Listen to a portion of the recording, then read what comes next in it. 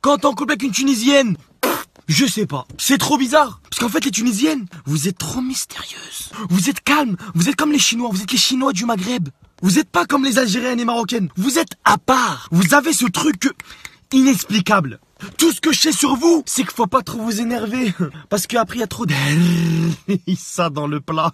Si tu te maries avec une Tunisienne, faut que t'acceptes la harissa. Eh, les guerres, dites harissa. Même les Tunisiennes, mon pote, faut pas les énerver. Peut-être elles chantent quand elles parlent, ya habibi, ya omri, gouli, ya c'est Mais la tête de ma mère énervée, là, wallah, l'adim, mais ouais, le coup de tête. Wassalamu alaikum, sabtué.